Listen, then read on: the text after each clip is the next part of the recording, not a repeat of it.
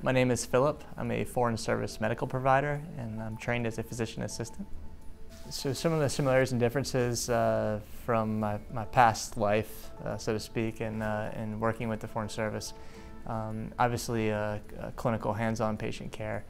Uh, working in, in, the emergency department um, really has given me some skills to, uh, to be able to, to do some things in the Foreign Service. For example, um, one of my previous uh, assignments, there was no emergency medical system as, as we know it in the United States, so I was that, that person. Um, and so it was, it was very helpful to have a, a good uh, uh, core um, education and, and, experience with emergency medicine.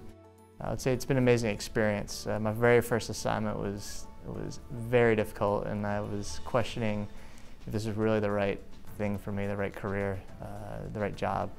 And um, and looking back, I'm glad I, I, stayed and I finished, and I don't think I want to go back to that place again, but, uh, but I'll never have ever had gained those experiences any other way uh, but with this type of job.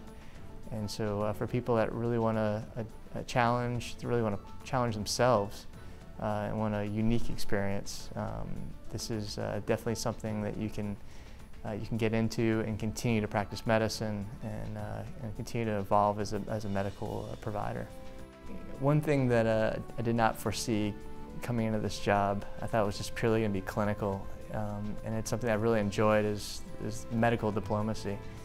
So I am a clinician, I am a medical provider, I do take care of patients, but I wear two hats.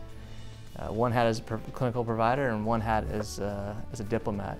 I have enjoyed um, the fact that I can travel a lot uh, within my position. And uh, when I worked in Brazil, I was able to participate in the, uh, the World Cup. Um, uh, kind of stepped outside of my usual job, taking care of patients um, in the embassy, and, uh, and did a lot of work uh, with, the, with other entities of the U.S. government to prepare for, for the World Cup. that was probably my, my most unique experience.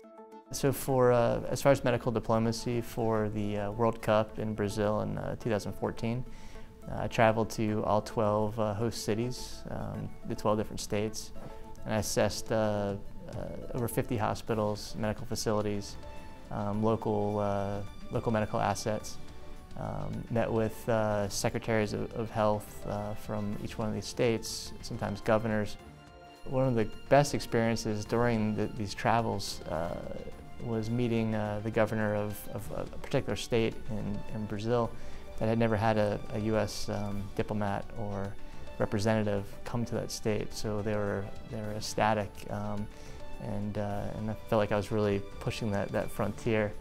Um, but, but doing this work uh, for, for, the, for the embassy, um, preparing uh, the embassy for all the American citizens that were going to come to Brazil for the World Cup and, and having a plan um, also was, was great outreach.